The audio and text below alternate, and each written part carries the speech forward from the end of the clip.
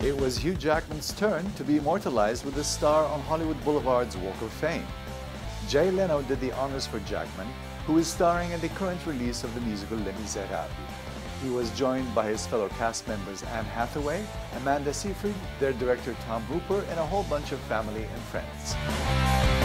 You know, people always say that uh, wealth and fame, oh, you change, oh, you change. You know, I, I don't believe wealth and fame changes anybody. I think it just exaggerates who you already are. And I think all your wealth and success and fame and all these things have just made you more of the better person. This uh, is a surreal experience. I'm a kid from a suburb called Wahroonga in the northern suburbs of Sydney. I have so many people to thank. I am incredibly, incredibly grateful.